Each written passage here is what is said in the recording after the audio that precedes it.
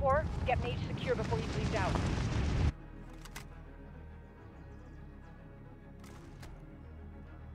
Low ammo.